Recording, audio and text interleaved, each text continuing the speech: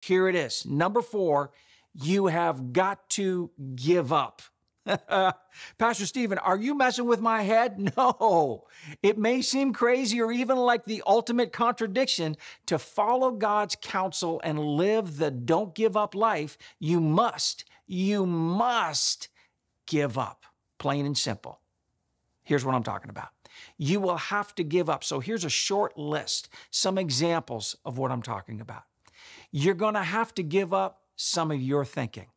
Is it possible that some of your thinking is at odds with God's great thinking, His great plans for you? The ability to surrender your ideas for God's plans is a superpower. It's called humility. You know what else? You're going to have to give up some of your definitions. Most people have inherited pictures of things like love, family, truth, faith, that are completely wrong and out of touch with God's absolutes. You're going to have to give up a lot of your supposed meanings and definitions. Yep, your truth just got swallowed up and thrown out the window for God's truth. You've got to give it up. You're going to have to give up some of your habits.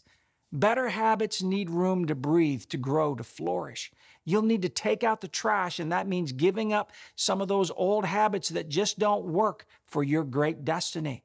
You're going to have to give up some of your friends. Yes, I've got a whole series on this, but most people call certain individuals friends that God would never allow or qualify for your destiny. So you're going to have to give up or you're going to stay stuck. Here's another thing you're going to have to give up some and possibly many of your opinions. Did you know that God gives us spiritual weapons that He calls ultra mighty just so that we can tear down arrogant thoughts and opinions in our head, thinking that's in the way of truly knowing God? Yes, you'll have to give up many opinions and worldly perceptions that just don't align with God's heavenly great thinking for you. Woo! You must give up, here's another one, your desire to avenge yourself. Many people layer dangerous false beliefs over their heart in a time of great crisis, temptation, affliction. There's a story of a huge snake that was slithering across a workshop floor when it passed over a saw blade. It nicked the snake, and the snake interpreted it as an, a violation, a cut worth countering. So the snake went on the attack and began wrapping itself around the saw blade, squeezing to instinctively use its strength to defeat the offender. Squeezing harder and harder, the deeper the blade cut, drawing more and more blood.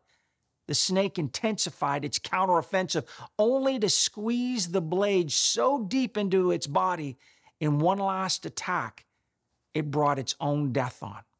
Listen to me. Give up trying to avenge or revenge yourself, trying to right other people's wrongs. You just focus on you and let God save and work in your life. We know that vengeance belongs to the Lord, so give it up, leave it alone. You must give this up. Here's another thing that you're going to have to give up the futile task of insulating people from consequences. Let Jesus be the Savior and you focus on obeying Him. You're not a replacement for Christ. Yes, He lives in you, but we're each part of the body of Christ, not the entire package. You don't have that responsibility.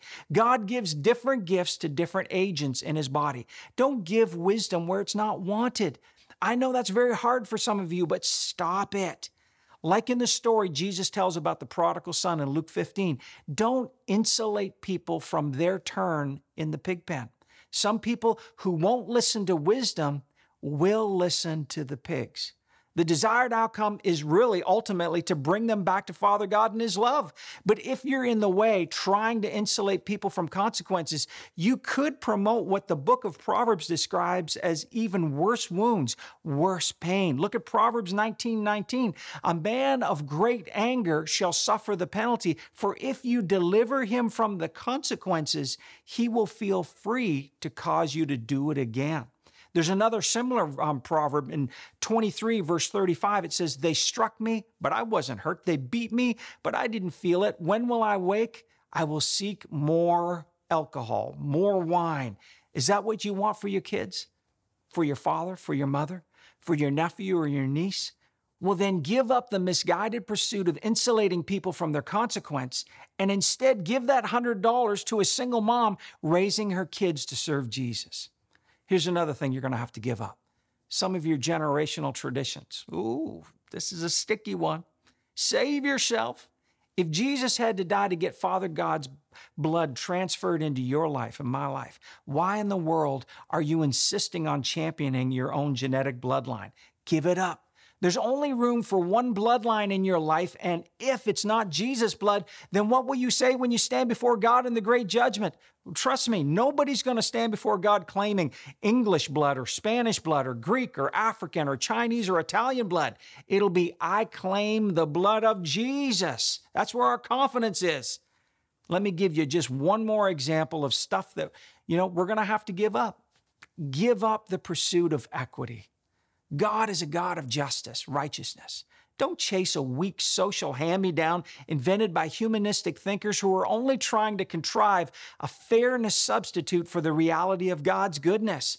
Don't devote your life to chasing less at the expense of more. Martin Luther King dropped the mic, so to speak, when he said this. This is an amazing quote. He said, I have a dream that my four little children will one day live in a nation where they will not be judged by the color of their skin, but by the content of their character. What an amazing statement.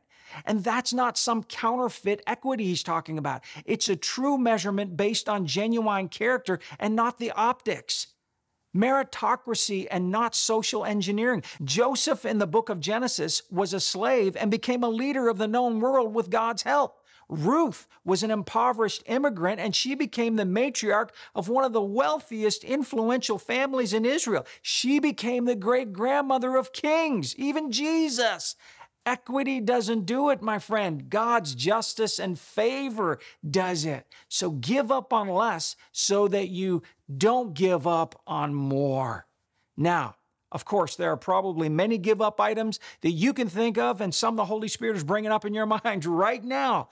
But what I want you to understand is this to live the don't give up life, a tenacious, victorious life, you'll have to let go of weights, distractions, and yes, sin that hinders you from running the race set before you. That's all in Romans 12, verse 1 all of life responds to focus.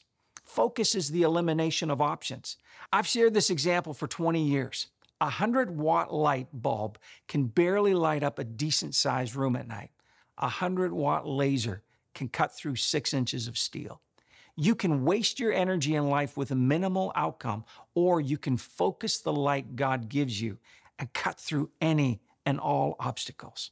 Focus in this context means to give up the stuff that you're not assigned to so that you can truly live the don't give up life. God's calling you right now. Advancing is far more fulfilling than novelty. Can I say that again? Advancing is far more fulfilling than novelty. The old adage, curiosity killed the cat, it has merit. We're being seduced by the instant gratification of swiping up, down, left, and right, or who knows what, and there's no true progress. Only an unfocused hit of dopamine. Great outcomes in life absolutely require giving up, elimination, focus. You can't do everything, be everything, and have everything when God has strategically assigned you to live life strong. He's got an assignment for you. Strength requires elimination and focus. Look what Paul the Apostle talks about, helping us to understand our role in the family of God, in the body of Christ. He gives us this picture that's all about focus, not being a generalist, but a specialist. This speaks to just how intentional God is about who you are and what you're called to. Listen to this 1 Corinthians 12, verses 17 to 19, and then we'll skip to verse 27. If the whole body were an eye, where would be the sense of hearing? If the whole body were an ear, where would be the sense of smell? But as it is, God has placed and arranged the limbs and the organs in the body, each particular one of them, just as He wished and saw fit, and with the best adaptation. But if the whole were all a single organ, where would the body be? Well, that would be just a monster, right? Now skip down to verse 27. Now you collectively are Christ's body, and individually you are members of it, each part severally and distinct, each with his own place and function. This brings up one of the greatest tragedies of the Christian church today. Too many good people have been pressured to fill a role that they're not made for. Imagine me trying to force my nose to do what my eye is assigned to do. Or what if I insisted on my hand trying to take the place of my foot?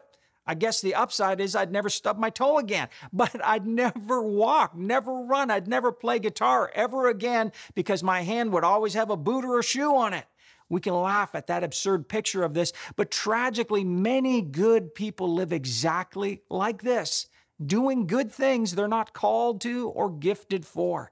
They live discouraged lives, chasing something that they don't even really want. Give up. If that's if this is you, give up. Don't be called to be an eye trying to get a glove to fit you. Focus. Give up to excel at what God's assigned for your life.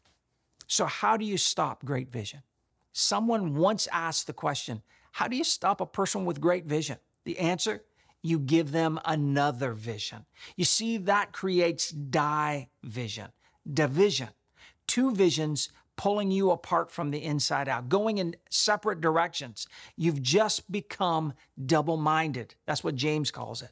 The enemy is a trickster.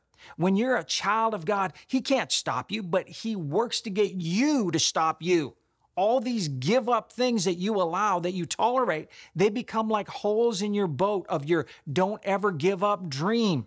What you tolerate, my friend, you can never change. You might justify one little give up hole as being something that could never sink your ship, but let's face it, you begin to justify one after another after another because by themselves, hey, it's not just that big of a deal. But listen to what King Solomon said. He said, The little foxes spoil the whole vineyard. The Lord Jesus warned, Beware the leaven of the Pharisees. My friend, the little things destroy you. They can destroy you. Your don't give up is being compromised by what you know you should give up. The problem isn't your destiny. God has always had a great destiny for you. And the problem isn't your don't give up power. You are an overcomer. The problem is the give up stuff weighing you down, dragging you around, that's pulling you off course and detouring your destiny. As the saying goes, the longest distance between any two points is a shortcut. Shortcuts are compromises. Give up stuff interfering with your don't give up faith and power. So, what should we do? Oh, what should we do? I'm glad you asked. Let's take a page out of God's friend Abraham's playbook. You know, the father of faith, as he's so well known. Abraham's faith made way for the seed of heaven to come to earth in the form of a baby born of a virgin, be crucified 33 years later for our sin. And here it is for God to be able to raise up his son from the grave three days later as the King of Kings, our Savior Jesus. So, in answer to your question of what should we do, check out this Abrahamic how to dose of don't give up medicine and see the outcome of this faith action item. Romans 4, verses 18 to 20. For Abraham, human reason for hope being gone, hoped in faith that he should become the father of many nations. As he had been promised, so shall your descendants be. He did not weaken in faith when he considered the utter impotence of his own body, which was as good as dead because he was about a hundred years old, or the barrenness of Sarah's womb. No unbelief or distrust made him waver, doubtingly question concerning the promise of God. But he grew strong and was empowered by faith as he gave praise and glory to God. Did you hear that? Abraham grew strong. He was empowered by faith. How? He gave praise and glory to God. Here was this old man with his old wife who had never had children, believing God that they were going to get the promise, which was many nations, a child, and have many nations in their lineage over and over through the discouraging times. Every birthday, every birthday that as he got older, as his wife got older, and they had no child, no promise yet, Abraham kept on giving God praise and glory for delivering on the promise. Give up magnifying the problem. Give up exalting the bad things, the lack, the way you feel. That's right. Stop using your words to advertise how you feel and pull a Father Abraham. Grow stronger and stronger, empowered by faith as you give praise and glory to God. Sometimes I imagine Abraham, he was, you know, full white hair, gray hair, and as he began to praise and glorify God, I saw his sideburns started getting a little bit darker and his hair, his, some of his friends and the family and the, the people people, his employees around him were like, didn't Abraham's hair used to be totally white? Oh my goodness. Now he's getting these black streaks in it. He's getting black streaks in his hair. What's happened to his wife? She's like 90 years old. How come she looks like she's 25? What is going on? I'll tell you what was going on. They were praising and glorifying God. God has great things for you, but it will require, it always requires a don't give up, patient perseverance. And we just learned that requires you giving up all the other stuff, all the other weights and junk. Right now, you decide to give up whatever is distracting you, whatever is urgently requiring your essential text, your swipe, and your ultra urgent inbox message. Do like Abraham. Give praise and glory to God right now. Thank you for sharing this very important time with us. We pray and believe that God's Word is guiding your life and your future from this moment on. Thank you for your generous support.